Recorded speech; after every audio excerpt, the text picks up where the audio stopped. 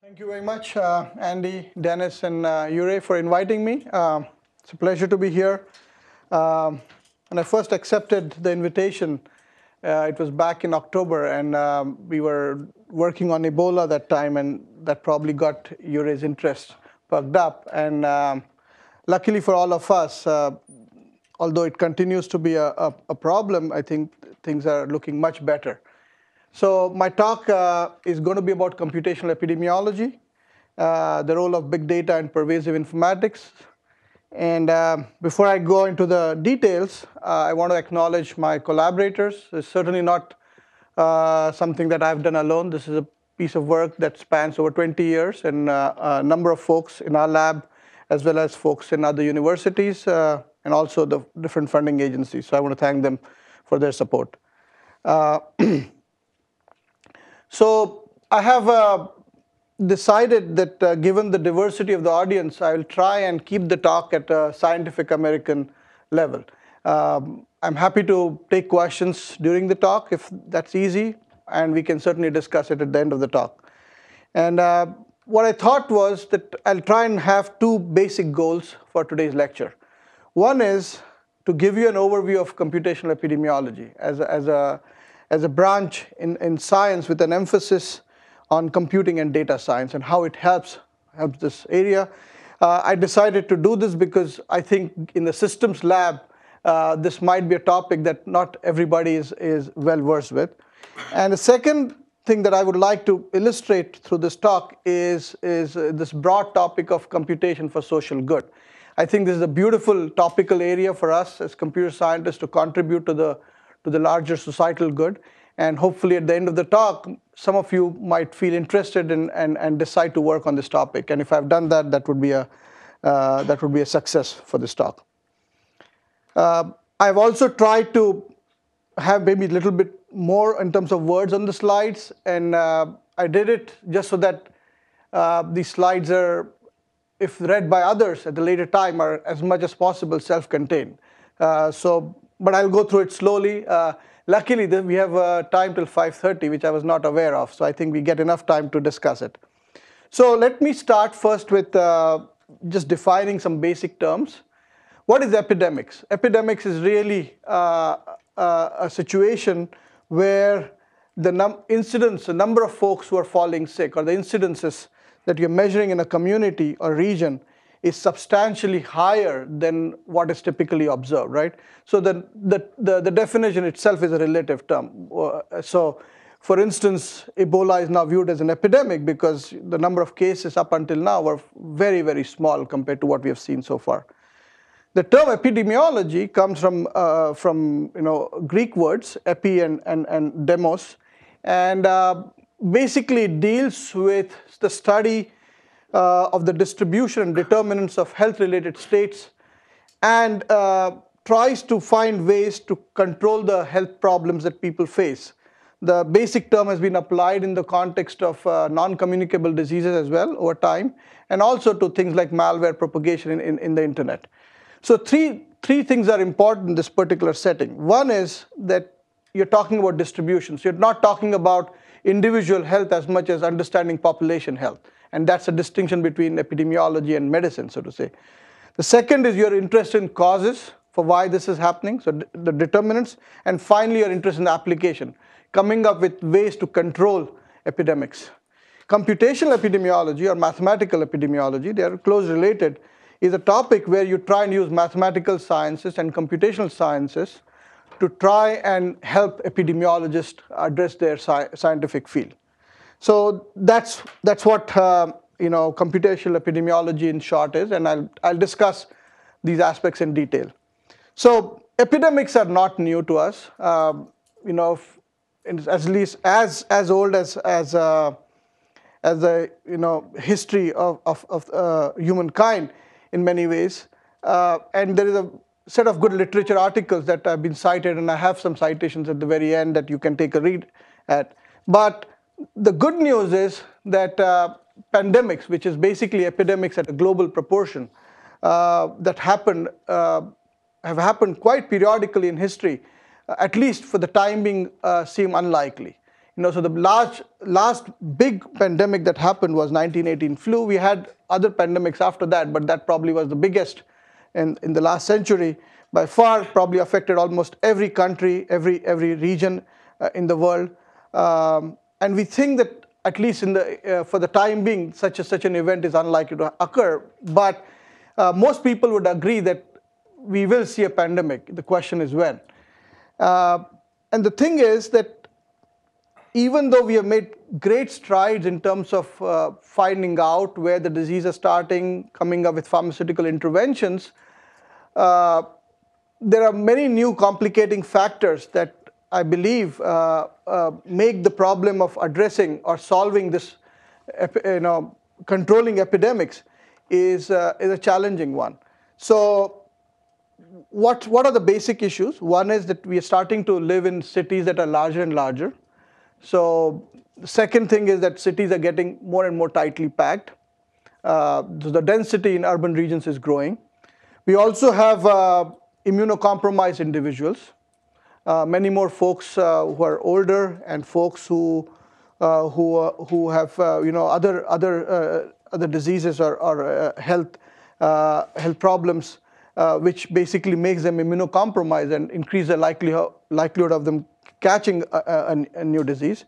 And finally, we, we have uh, over time, as we've started growing in terms of population, we've really coming up to a situation at, at, a place where we are starting to interact more and more with the environment and nature. We're sort of affecting it in, in a larger, large way. And I think Ebola is an example where this, this might be playing out uh, in, in, in some ways, where the boundaries of the cities is actually growing and we are, we are uh, touching the habitat uh, of, of uh, you know, uh, uh, of other, other, other animals and, and species in a, in a manner that we have not done before in, in, in, in such large numbers.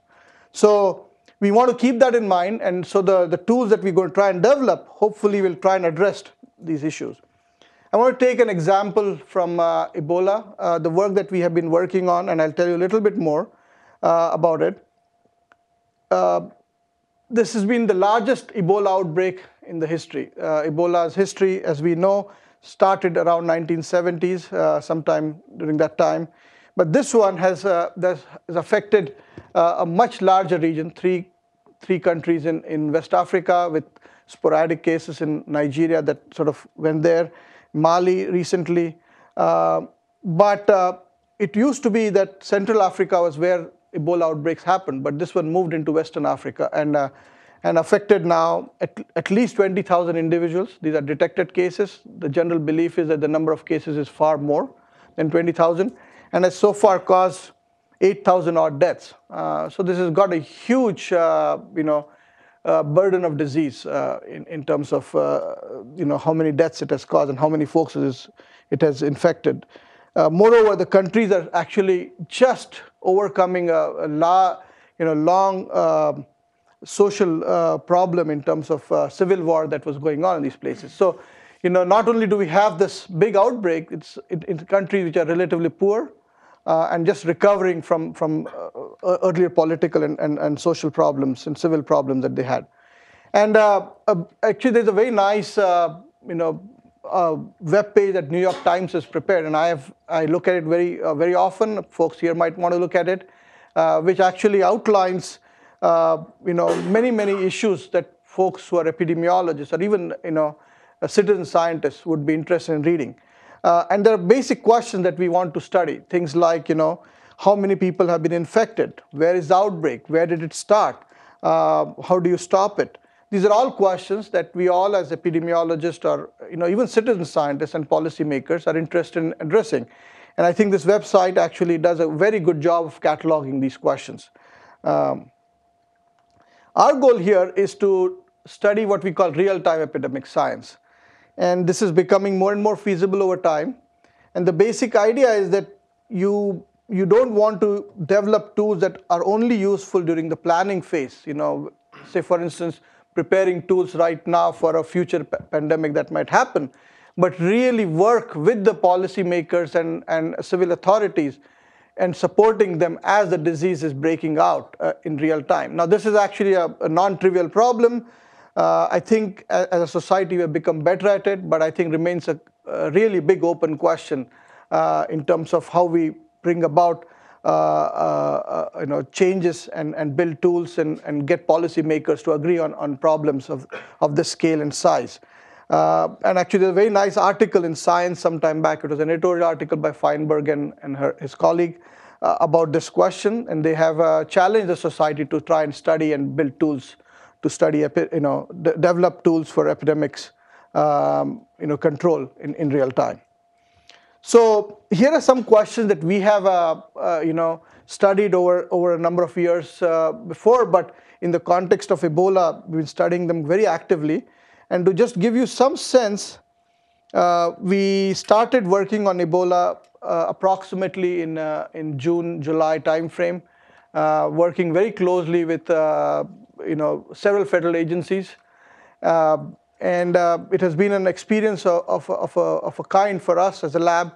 Uh, we are an academic institution, but given what was happening on the ground, uh, the work has been very intense. And as, in, in some ways, to, us, to you know, for, for us as modelers, it's rewarding to see whether uh, to try and support policymakers. And I, I think at the end of the day, the folks on the ground deserve a lot of credit. You know, the models we make is, is one thing, but the folks who are really on the ground in these countries working out really deserve all, all the kudos from us and support from us. So this, this is actually really small work in, in terms of what these folks are doing. It's just very challenging questions.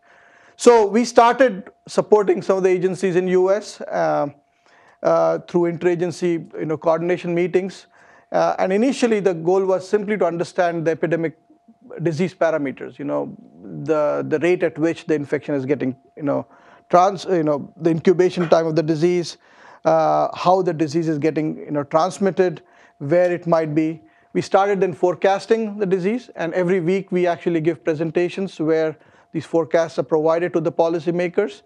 Um, and uh, as, uh, as my colleague has, has said, uh, we are actually happy to, to be proven wrong in our forecast. Our initial forecast actually uh, said the numbers are going to be much higher than what the current numbers report. And I, I personally think of this as actually very good news. Uh, and partly, it's, it's very hard to figure out whether our forecasts are wrong or whether the forecast that our group and many other groups did uh, really galvanized the community to change certain habits uh, that might have cut down on, on, the disease progression. And this is something Andy said in his in introduction, where people are very important elements of this. Unlike physical system, where you can really deterministically say you know, where the moon is going to be, you know, in terms of its its position. Uh, people adapt when they perceive diseases, and that's fundamentally a problem in social systems uh, and, and, and things like epidemics. So we did forecasting, site forecasting problems. We then studied um, in um, September timeframe questions related to assessing the, the chance of the disease coming to US. Uh, you might have heard of the news on, on the TV that time and, and uh, news outlets about uh, you know, cases that came to US. Uh, and luckily things, things worked out. Uh, and it was, it was very clear as modelers that unless we did something really stupid, this is not going to you know, spread in a way that has, that has spread in, in, in Liberia that time. Uh, we have far, far uh, well-coordinated uh, system in, in place. We then studied uh, uh, efficiently allocating pharmaceuticals. now, there's no vaccine for Ebola right now, but they're in the process. There are um, trials ongoing right now. We expect vaccines to come out sometime this year. Initially, the thought was that it will be very soon, but I think it has been delayed some. We do expect vaccines to come out. The current number, uh, you know, trials, which are very limited, suggest that they, they might be efficacious. So we studied how vaccines could be allocated, uh, how many would might be required, uh, you know, where should they be provided, and questions of that sort. Another question we studied uh, when we were working with the uh, agencies was to allocate, uh, you know, resources in a very particular setting, which is a which is a actually a operations research question, which is to do with placing emergency treatment units. So, as you know, U.S. decided to place between 10 and 20 emergency treatment units.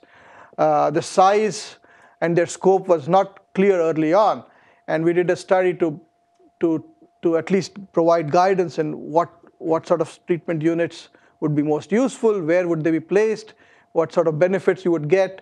Uh, some of the results were then taken in. Um, and the questions are actually non-trivial, right? For instance, you might actually intuitively feel like placing a treatment unit uh, where the disease burden is very high at, at this moment. Um, but by the time the treatment unit gets in place, uh, the disease might have moved on to some other place. So it's not obvious where to place these units. Now, if you might, you might place it in a remote place where there's no disease uh, breakout at that point of time, uh, from a social standpoint, it, it, it is not a policy that goes very well to see something that is sitting there with nobody using it.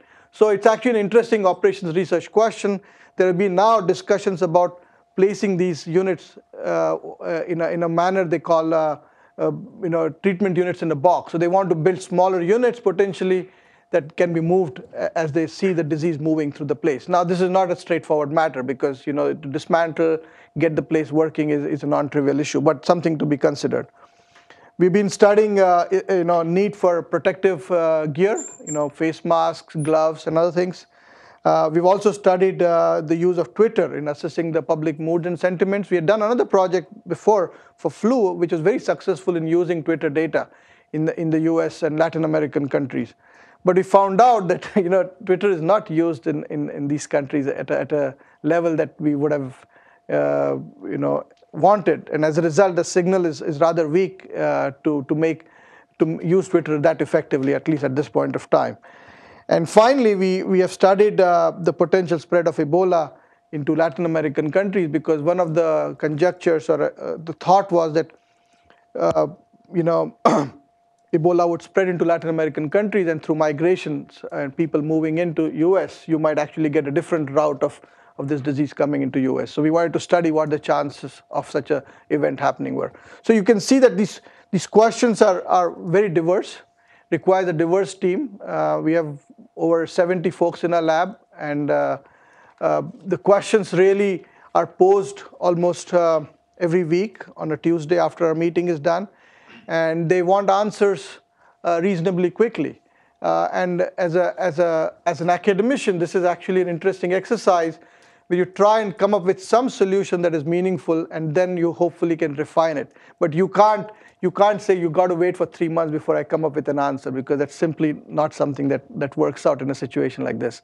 And I think uh, that has been a very good learning experience for us as, as a lab uh, to be working on a problem as an event unfolds. Uh, and I think more and more use of such tools uh, will demand from policymakers uh, that you know we sort of try and support them in real time. Um, we set up a web page. Um, you know the the address is uh, is there uh, on, on, my slides, and I think the slides are going to be posted, Andy, as I understand. Um, this web page was built out as a resource uh, for, for Ebola folks. Uh, it, is, it has got a lot of different pieces of information on it. Uh, we've built out, uh, you know, da data, disease models and, and synthetic data for different countries. Papers have been put there. Uh, and we continue to post new new results and, and analysis that comes out. For instance, all the presentations we have done to our federal partners uh, have been put on these slides uh, with a few little bit of delay uh, just to make sure that the slides slides are okay. And I, I, encourage you folks to take a look at it. Another thing that is of interest, and I told this to, to Jure when I talked to him in October, we ran a hackathon. Uh, we call it Hack Ebola in, in around uh, October. It probably was the first Ebola hackathon. Um, it was motivated by our students wanting to contribute to this project, and it was fairly successful. Uh, we had 60 odd students participating in it. Um, it was actually open to everybody outside. Um, got some projects done. We also faced some challenges, and challenges in terms of getting the right teams to work together was not straightforward.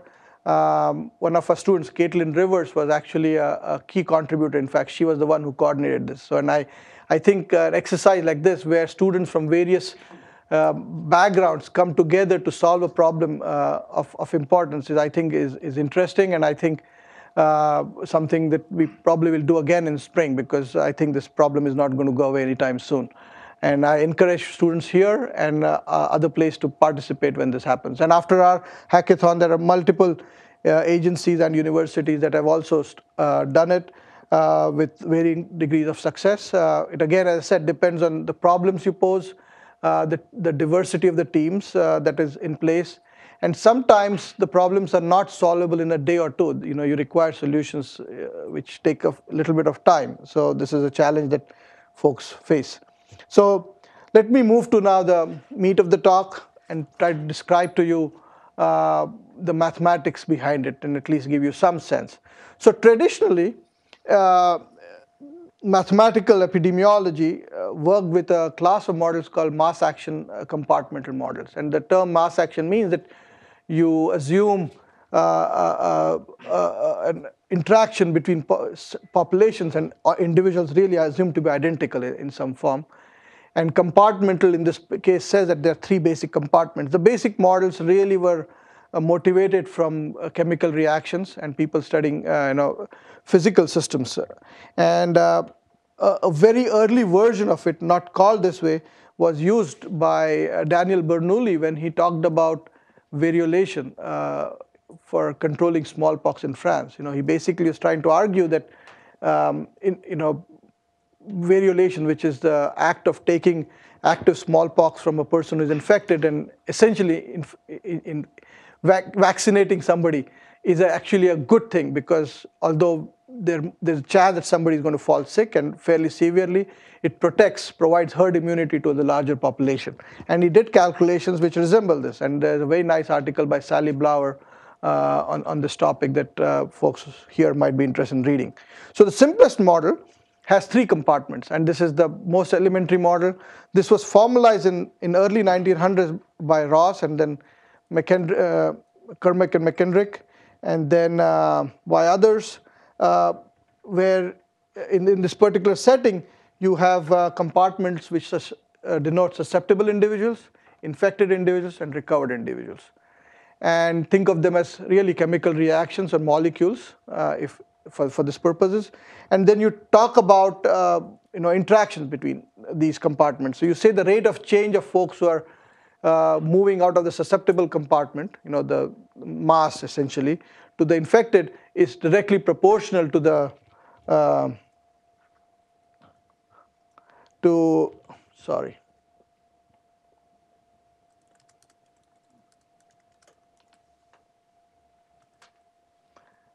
directly proportional to the product of the, the, the size of the com eye compartment, the number of infected individuals and number of susceptible individuals, right?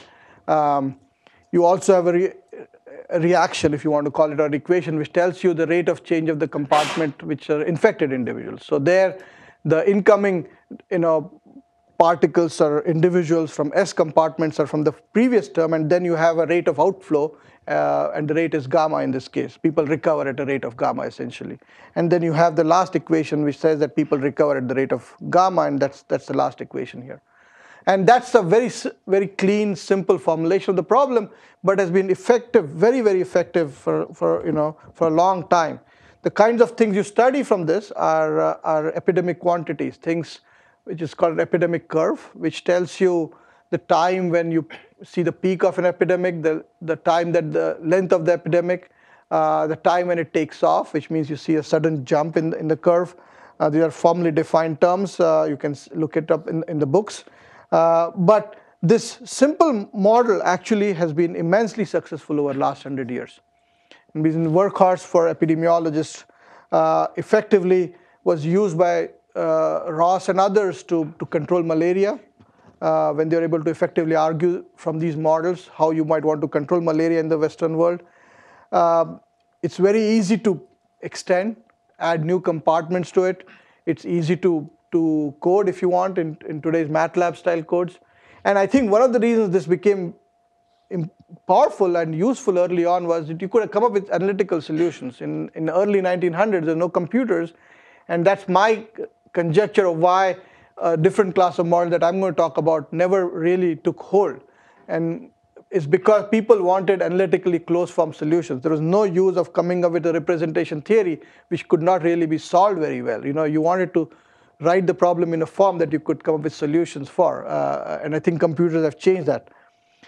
This, although the models have been very powerful, they also have some weaknesses. For instance, they do not represent the heterogeneity that, that is inherent in social systems, right? And all of us are not identical. So this this heterogeneity that exists in our in, a, in urban set, you know, in, in in social systems is is not represented very well. You can of course keep on breaking these things into smaller and smaller compartments, but then you sort of lose the appeal of the model in the first place. Um, the other aspect is representing of human behavioral issues is, is quite hard in, in this system like this. And finally, uh, models like this it's not straightforward to come up with what I would call implementable strategies for interventions. And hopefully I'll be able to give an example in the later part of the talk. So what's an alternative approach? The alternative approach is uh, now called networked epidemiology. And some of you here actually have uh, written papers on this topic um, in, in different contexts. But the basic hypothesis here is that a better understanding of the social contact structure uh, and individual behaviors is likely to give improved insight into how the, the disease spreads or the contagion spreads. I'll use the word contagion and disease uh, synonymously here and allow us to come with better response strategies, right? And that's a hypothesis. I hopefully I'll be able to convince you that this, this hopefully holds. And uh, the basic, basic model is very, very simple. Uh, here's a cartoon for it. You have four nodes um, in this. It's a graph, it's a network. Um, the disease starts at node 1 and uh, you toss a coin uh, and the node 1 tries to infect node 2 and node 3 uh, with probability p independently. In this particular case, node 3 gets infected, node 2 did not get infected. Um, and let's say in this particular model, node 1 recovers after one time unit. In the next step, 3 tries to infect 2 and 4. In this case, it's successful infecting 2 but unsuccessfully infecting 4 uh, and it recovers and then 2 tries to infect 4 is not successful and you can write down the probability of this event happening. The probability is P, P13 which is a chance that 1 sends the disease on the edge 1-3 multiplied by 1 minus P12 which is a chance that you know, one was unsuccessful in infecting two and on and on and on. So you can write the probability of this particular event, this particular configuration playing out, right? And this is the basic model. You can now add incubation times um, and so on and so forth. But this is actually an interesting, simple model that can capture uh, a discrete time process, an abstraction of the problem of disease spreading. Now, of course, the problem, which I'll, I'll come down later and tell you, is uh, there are issues that come up with this model too. You know, it's not like this is a panacea for, for, for, the, for the problems I talked about from, for ODE-based models or mass action models. A way to abstract this out even further, and I think it's a useful way to do it, and that's how we have actually developed all our work, is to view this as, as graphical dynamical systems. So uh, folks here are now hopefully uh, you know, well aware of two class of graphical models that have been used heavily in computer science literature. One is the graphical models for inference, uh, which were popularized and have been very successful in, over the last 10 years and then graphical models of games. Uh, what I'm proposing is that you can also have a graphical model for dynamical systems. And it's just an abstraction of the process that I described before. The abstraction says that you, instead of having the simple coin toss and edge, you have a local function on each edge, which tells you how you would change your state by looking at your own state and the neighbor state. And the function could be either deterministic or probabilistic. And you can run this synchronously, and you can think of this as computing a global function, which is obtained by composing these local functions together, right? This abstraction works out very well. You can decide to have, as I said, a deterministic local function or a probabilistic one, and that will change the dynamics. Um, what is interesting then is that many, many interesting epidemiological questions can be cast as combinatorial problems on this graphical dynamical systems. And that's how you do the mapping hopefully you solve them well and then have something to say about the policy back. Uh, for instance, the question of inference, and, and, and, we just talked to Bruno here in the afternoon, can be you know, classified in, in the setting where you say that you have observed a time series in this dynamical system and you're trying to infer the graph that might have led to this particular uh, uh, time series. You talk about forecasting in the following manner. You say that disease starts from some place and then you want to understand how the disease would spread and what the state of the disease would be after some time unit. You can talk about interventions in this, which is changing the properties of the vertices in terms of functions or edges to try and control the pandemic or epidemic, right? So the problem is that from a computational standpoint, uh, all this is good, but you're actually trying to reason about an object that is substantially larger than the, than the representation itself. But in, in, in particular, in this particular setting, the phase space, which is the representation of the possible dynamical outcomes, is exponentially larger. In a, in when your local functions are probabilistic, turns out a good representation of is a Markov chain. And people have interesting algorithms to analyze Markov chain. The problem with this situation is that the Markov chain is exponentially larger than the representation itself. So that causes sort of computational difficulties. Uh, and I've tried to sort of articulate this here. Um, the other problem in, in, in, this, in this form of modeling is that, well, how would you even come up with a representation of a social contact network if you want to study, say, flu in a city or Ebola in, in Liberia, right?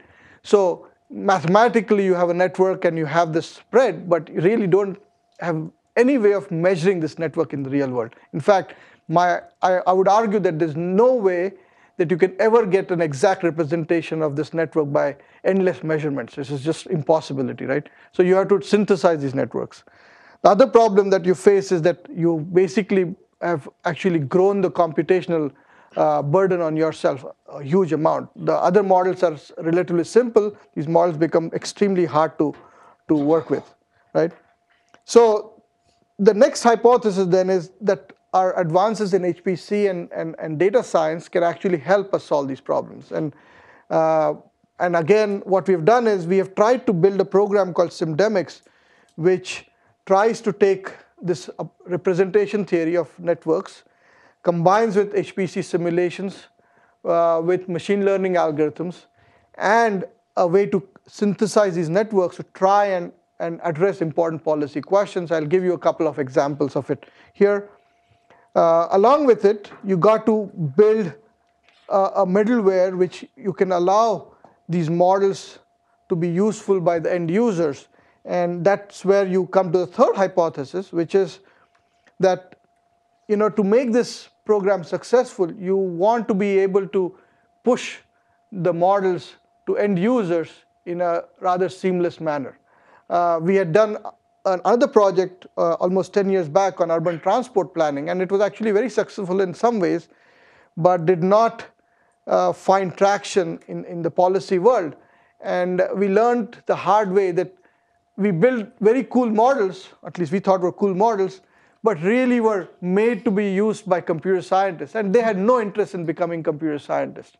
And uh, from, from then on, we've learned that if you want to really take it to the policymakers or domain users, you got to really build systems that they can understand and play with, uh, you know, with no desire to convert them into computer scientists. And I think this is a message that we have learned the hard way, and I think uh, it's been successful work for us. So we have built out more than 15 apps. There's around 12 here that I can see, uh, but 15 different web apps which allow users to play with these backend models that are complicated, but in a way that they don't realize that these models are being used in this form.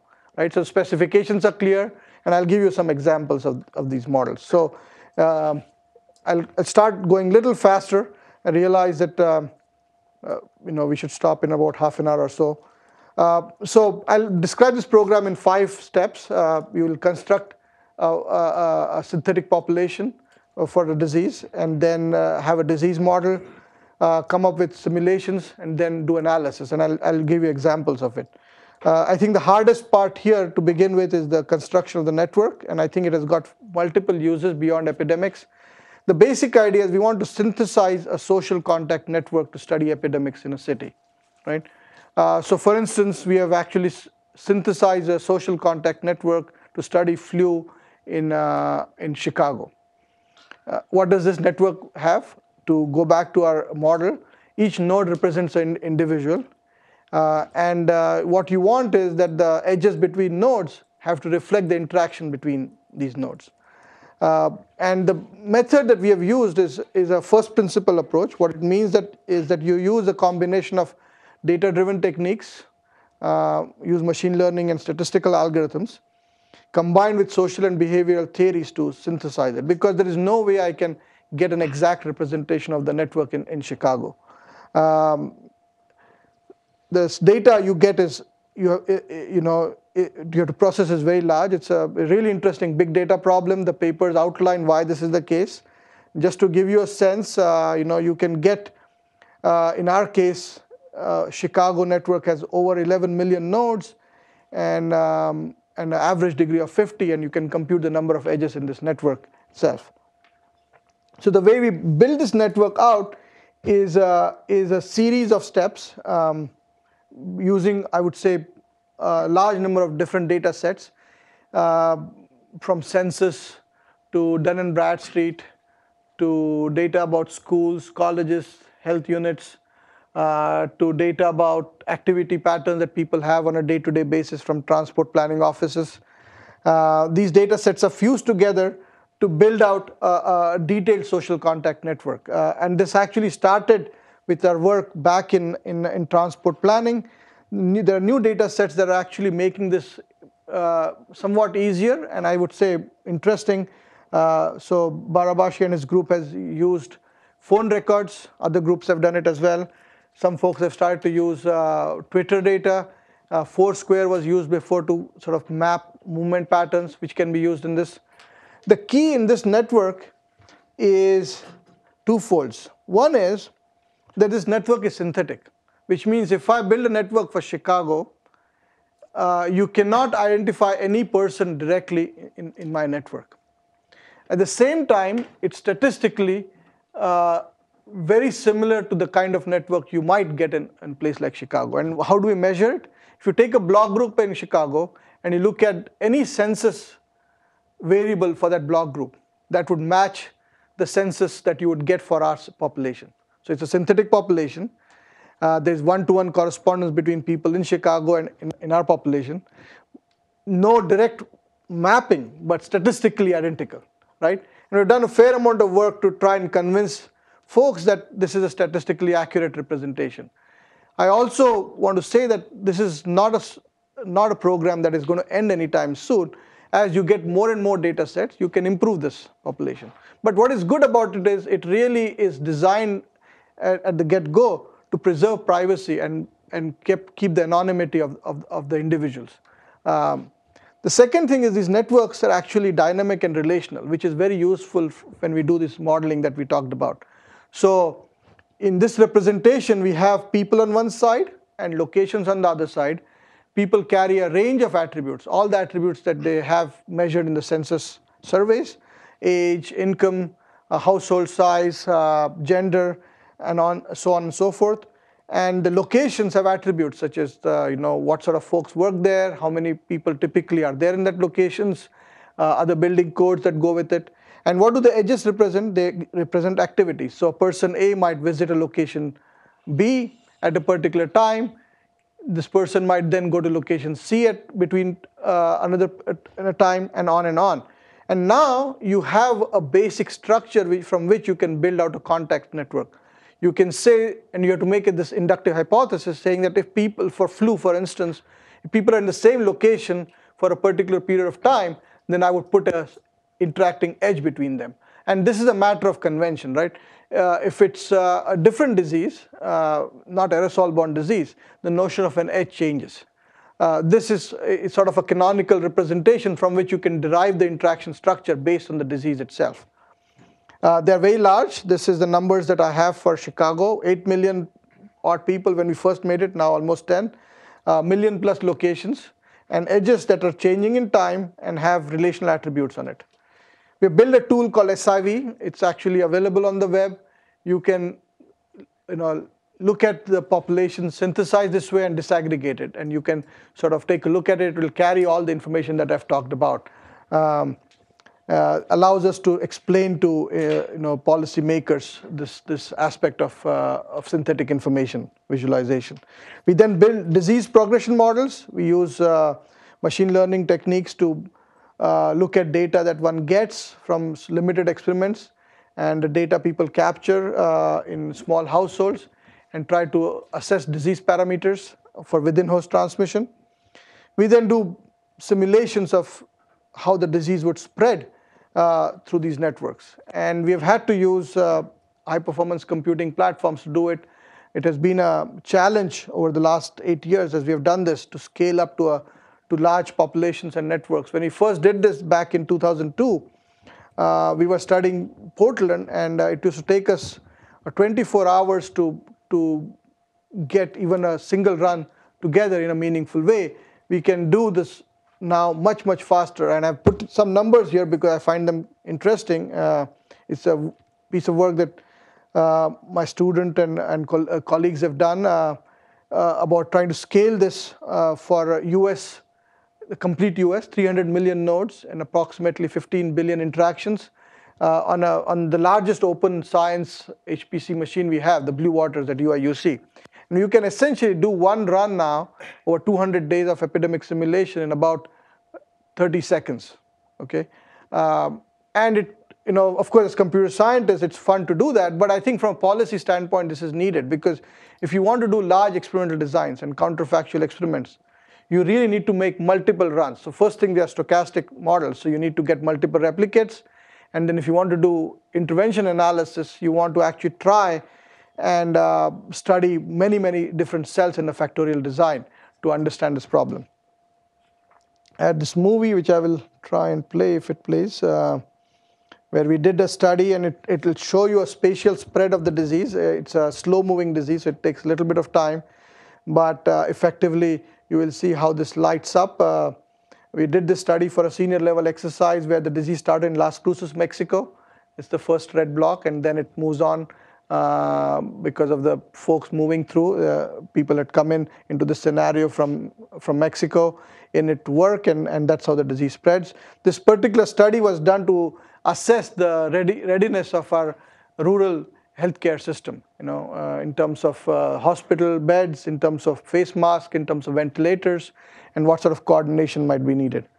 Um, let me give you two or three examples. There are more examples here of the kinds of studies we have done. Uh, I've already described all the different things we have done for Ebola, but the other studies we are doing, have done, are actually much larger in scope. Uh, and I'll just take two examples and move to the next next set of slides. Uh, the first study of, of note we did was, was uh, in fall 2003 when uh, we were asked by the Office of Homeland Security to study the potential effects of a smallpox release in, in, a, in, in a US city.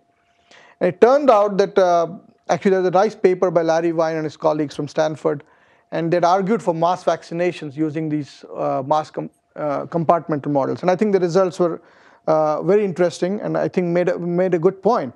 Uh, but because the, the representation the theory itself, uh, the, the argument, the final outcome was that if you don't do mass vaccinations, then you're not likely to control the disease very well.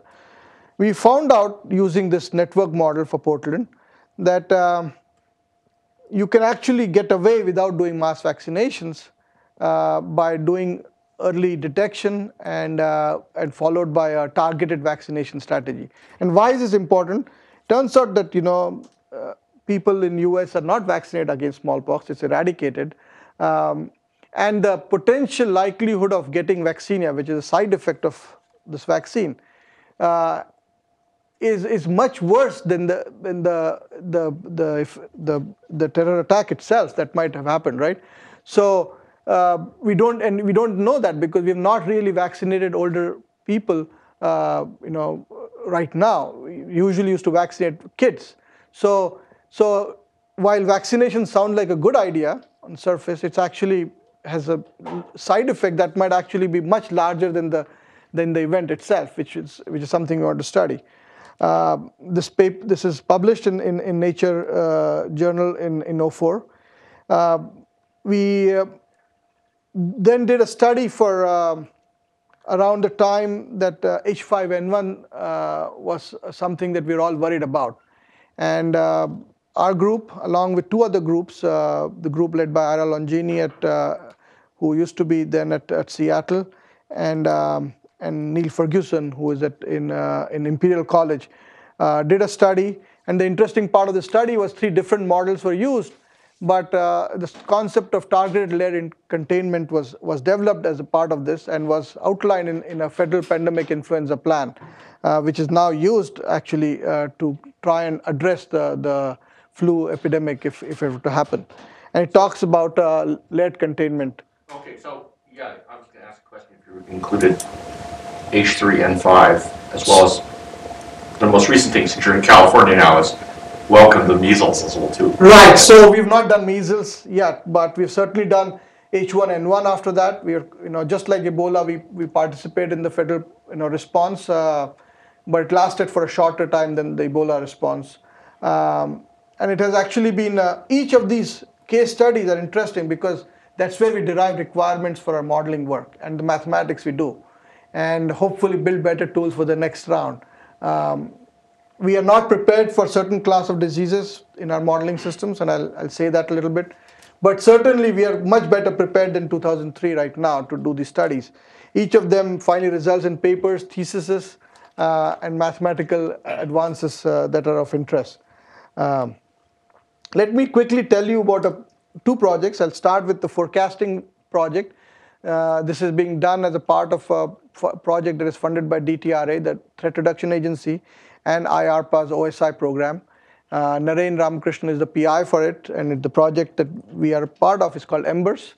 And um, this is actually a more general project than just epidemics. We're trying to forecast all sorts of events, uh, elections, uh, social unrest, um, disease outbreaks, uh, not just flu, but rare diseases.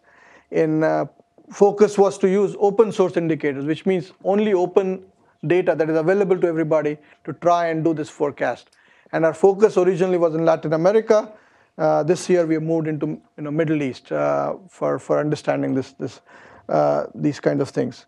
This particular project is interesting because our team builds causal models, um, much more so, but the other team members are actually very good at building data-driven models. And we have taken data from all sorts of different places, from Google Flu Trends, search trends, weather data, places like table near, you know, table near you, which tells you about occupancy of hotels and cancellations. Um, uh, data from Twitter, Health Map, which John Brownstein maintains and is a very successful app, which uh, people have participated in. Flu Near You, there's another app that he maintains. Uh, all these data sets are pulled together and we build out a forecasting model for each of the data sets and then combine these models in, in a composite way rather than first combining the data and then building a composite model. And we feel that is a better scale approach to scale as we get newer, newer and newer data sets. So these models are then put together using a, a statistical technique, uh, which is motivated from topic modeling uh, and is used to generate forecasts. And it's a live system right now we send forecasts uh, for Latin America, I think 12 of the countries there, every week back to IARPA. And the forecasts are evaluated um, by a gold standard, as they call it. It's a data that they've collected. Uh, you know, IARPA, like DARPA, wants to have measurements to decide whether you're doing well or not. Um, so this, this goes on every week, and this is completely automated. There's no human in the loop right now. You can train the models, but you've got to get these forecasts automated completely so that they get these event triggers. Uh, and you're evaluated at the end of each, each week and told. We have also done ablation tests which tell you how good each data source is doing. Um, compared this with Google Flu Trends, uh, we find that our models actually do quite, quite a bit well. Uh, in fact, many places in Africa, uh, in, in, in Latin America don't even have Google Flu Trends working, at least when we were uh, doing work there. and we can forecast things like the count, the, the, the date of beginning of the season, uh, when it would end, the time of peak, the value at peak. Um, and and uh, the scoring is a GPA style scoring. You get a score of four if you do very, very well. And uh, otherwise, you get something smaller. Uh, it turns out that there are three teams before. Our team did very well in the in the first two years, and as it happens in, in these competitions, one team move forward. So our team has gone forward for third year, and we continue to do this forecast. The point is that these forecasts are evaluated in a very rigorous manner, which in itself is an interesting question. How do you build measurements to decide what forecasts are good? And I think this is not a solved problem at all. Uh, furthermore, uh, I think uh, that when you do these forecasts, what you measure about the, the system is also important. And finally, I think an important point to note. The gold standard we use for this work is a data called PAHO data. It's a, it's a data that public health authorities across Latin America put together and produce data sets for each country or many of the countries in South, in, in, in South America, in Latin America. But this, this PAHO data that is given to us only gives you number of cases that, uh, that the health authorities have measured, right? But there's an interesting sort of uh, pyramid in, in, in terms of what really happens in the real world. So you have a, a, a set of folks, X, let's say, who are infected. Uh, a fraction of them, alpha times X, actually um, shows symptoms. Uh, another fraction, beta times alpha times X, actually feels you know, sick enough to report uh, that they want to go to the doctor, out of which another factor, gamma, actually is detected as having flu. So, you know, this notion of forecasting itself is fraught with difficulties because what we are trying to match is a final number that PAHO has given us. Uh, it might be way off in that particular setting than what the real ground truth is. And it's actually an open question uh, to try and estimate the incidence of flu in US, for instance, or any other country based on these measurements themselves. Um, but these hopefully these forecasts will, will help us. Uh, we have started to do this forecast for other diseases as well, chikungunya and dengue. There's a competition that CDC ran last year. We participated in it. Jeff Shaman's group from Columbia won the competition uh, for forecasting flu in, in US. It did very, very well actually. Um, we are, uh, there's a competition that DARPA is running right now for chikungunya, I believe, that we are, we are a part of. Um, and I think it's, it remains a, a, question that, that is open and will, will be, you know, continue to be worked on for years to come. We've built an app, uh, just like the previous apps, and I wanted to give you this example over and over again. It's called Flucaster for flu and Epicaster for other diseases, where just like weather, you can actually go here and see the incidence of flu and our forecast. And uh, you can look at the current incidence rates and, and the numbers as, as time goes by, okay? Uh, you can sort of uh, get it down at the level of a block group, uh, uh, not block group, but a county in, in any part, you know, many regions in US and many other Latin American countries. And Ebola is included in this as well now. We have another tool that allows humans to participate in it. It's not exactly crowdsourcing per se, but really humans become part of this decision-making process as citizen science scientists, where we show you forecasts and then we ask you to rank order them or modify them slightly so that we can we can get input from citizen scientists uh, to gosh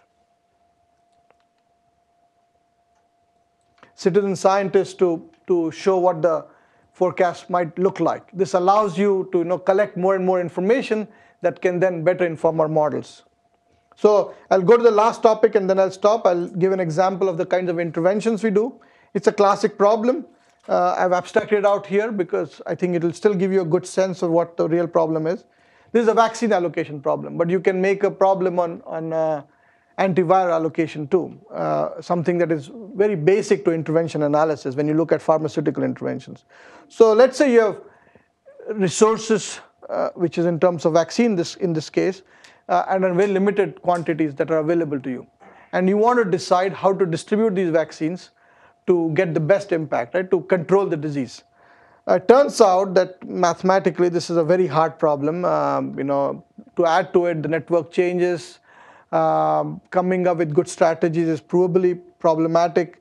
Uh, a lot of papers have been written in epidemiology in trying to come up with good strategies for allocating vaccines. Uh, they're always usually in short supply for diseases when, when they sort of break out quickly, uh, like H1N1 uh, and others. so what we found out is that by using these simulations, we could come up with strategies based on a, a concept called vulnerability of a node. Basically, uh, the idea that you run these simulations many times, see the node that is getting infected over and over again.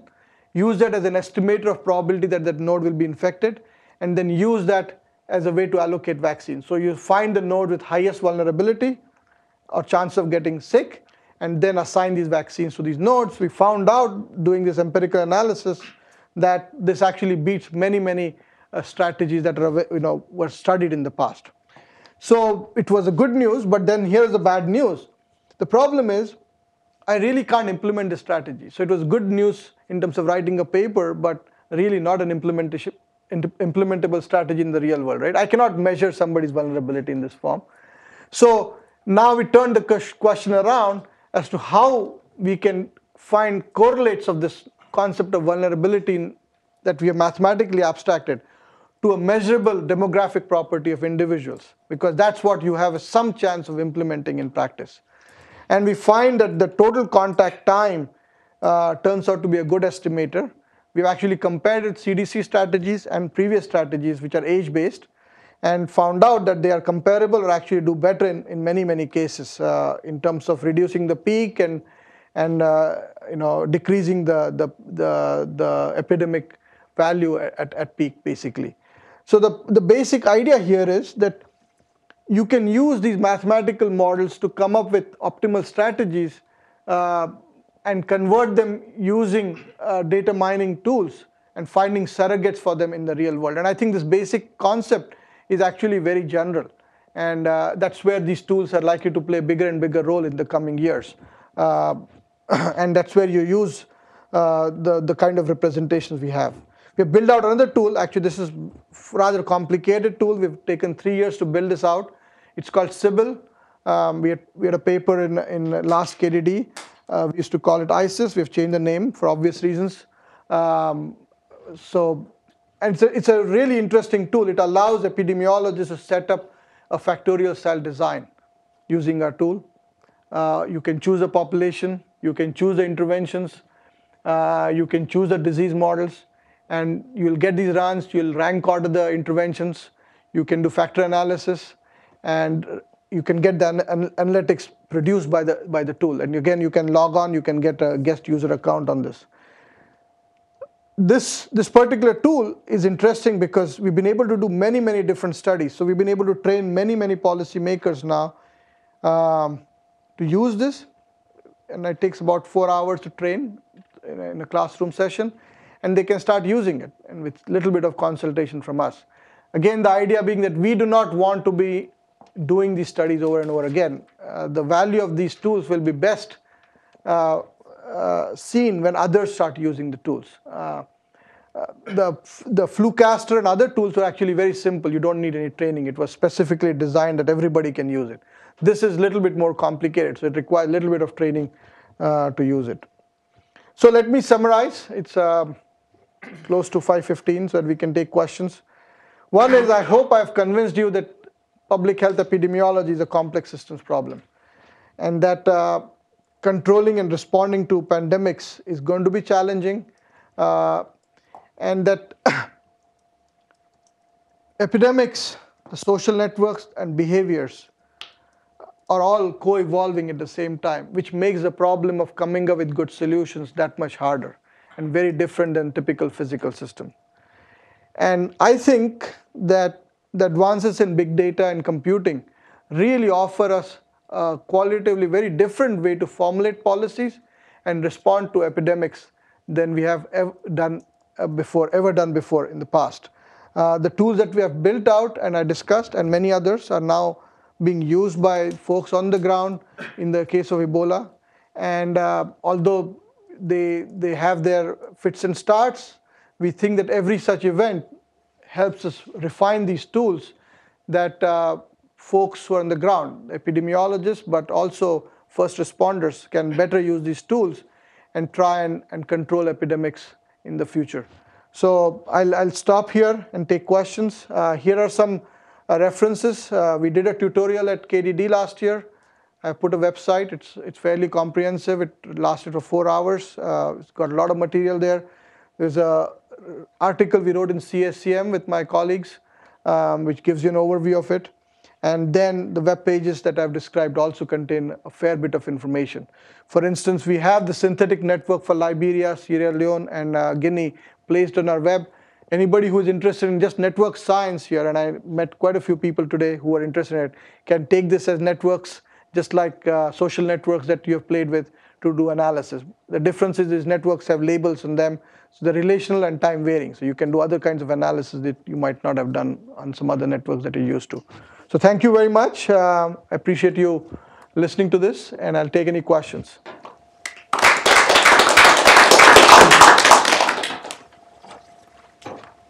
Yes. So, excuse me, now that your software is all in whatever shape it's in, uh, if Ebola were to start over again, how many people does it take to put in the data? Uh, that's a that's a good question. If you know, if it starts in a completely new country, we'll have to build out these synthetic networks for that country. Uh, I forgot to mention that we have a big project underway where by end of this year, we would have actually built out a synthetic representation of a large portion of, of the world. Once we do that, for diseases that we've seen before, flu and Ebola, uh, we've done work on MERS, we've done some work on pertussis, uh, would be substantially easier. But we get a new emerging disease, uh, it might take, again, uh, much more time. But I think we have, we've been able to do much better job after every round uh, than in the past. So I don't know where the fixed point of this system is, uh, but hopefully it will take lesser and lesser time than in the past. Can you give a ballpark of how many people it, it takes to add a new country then? Um, it's a good question. When we first built out, um, it used to take almost a, year with 30 of us to build out a country of the size of, uh, you know, uh, with say 50 million people. Uh, now it takes much less time because we've automated that process too. Some of the time it takes is to find right data sources. Uh, there's no clean way that this is this can be done yet.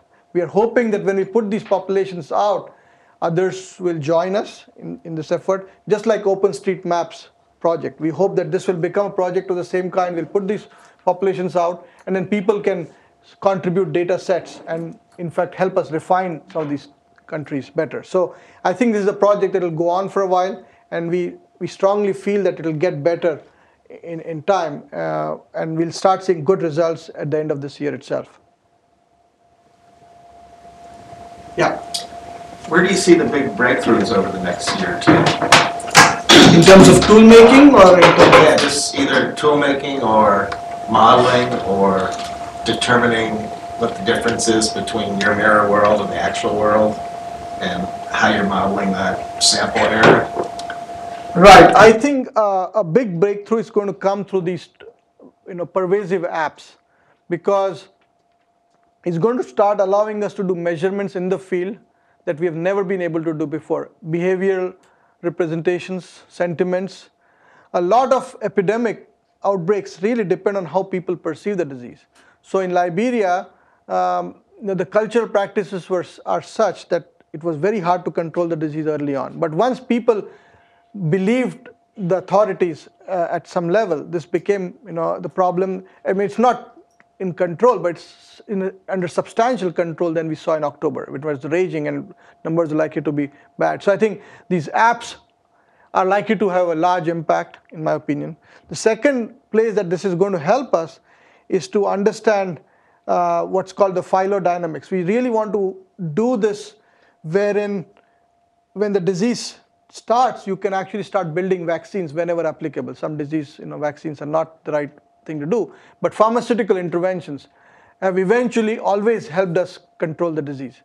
And I think they require lead time. And uh, in our case, because we started work with uh, DTRA, who is responsible for building vaccines out, uh, these forecasts and, uh, and, and, and, uh, and things related to disease are helpful. So the early, earlier information you can get from the field, the better chances you have uh, to give you some sense of flu vaccines. This year, for instance, the flu vaccine has been not very successful. And the way it gets made, approximately speaking, is that you collect samples all over the world, you put it in a large sort of bag of mixed possible strains, and then you build a, you know, a vaccine around it. So you're constantly collecting data. Uh, this process of collecting data, building out the automated facilities on, on, on the medical side uh, is actually going to have a big breakthrough. And BARDA is actually ramping up and building capacity to do it as well. So something will come from biology side, and I think some will come from the from the modeling side. Yeah. You're not biologists, so you actually don't care about some of the things that are coming up. Have you tried applying this to other problems, or people trying to other problems, such as computer viruses with the network topology is completely different, or completely different problems like, can you stop the ne- next Justin Bieber outbreak? now the second one, I'm sure I cannot. Uh, nobody can. The first one is an interesting, but yes, I think I take your point. So in general, the, the, the methods that I've outlined are fairly generic. You know, uh, they will work with different networks. They will work with different models of what we'll call a disease, to the extent you call it a disease. Uh, uh, you know, so viruses on, on, computer also have disease-like signatures. You know, there's a chance that you can infect. In fact, they call it, uh, you know, uh, use the word epidemics in, in, in that sense too. In fact, there's a nice article called Internet Epidemiology that has come out one of my students just finished his PhD on malware propagation in wireless devices where people can move around. And we used essentially a similar idea there to understand how you could spread viruses and the impact of, of these viruses when you have a hybrid network where you have a normal, you know, wireline network, but then people carry their devices. And, you know, nowadays these devices can talk to each other as they, as you walk by. So you can certainly use it. There's another area, though, I think that you might uh, find of, of interest, which is non-communicable diseases. So smoking and obesity are good examples. Uh, more and more evidence that, uh, you know, these are habits uh, in, in, smoking as a habit has a lot to do with the social network itself. We still, it's an open debate about the causality aspect of it, but the social network representation, representation of how access, accessible uh, these, th these things are to youngsters and uh, deciding how you might be able to curtail habits uh, for smoking might have a significant impact. So I think that's a, that's a very good example. Obesity is another example where I think this, this can be applied in the health sciences.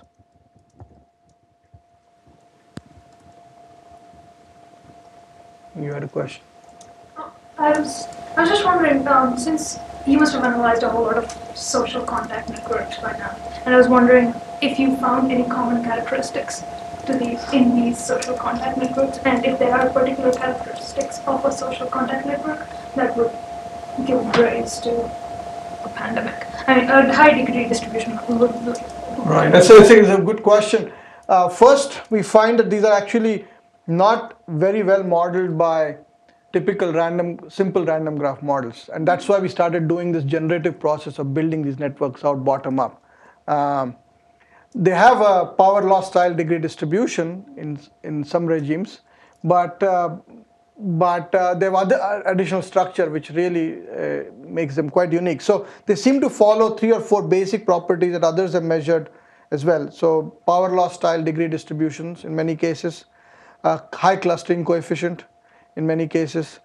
Um, they have a fairly high you know, conductance, so the, the, it's low diameter, and uh, as a result, uh, all these properties make it very easy to, for the disease to spread through fast. Uh, and the similar properties are measured for other networks as well. So these are not the only ones. But we do find interesting differences between, say, this kind of proximity network, if I may call, versus a Facebook site social network, which is about friends.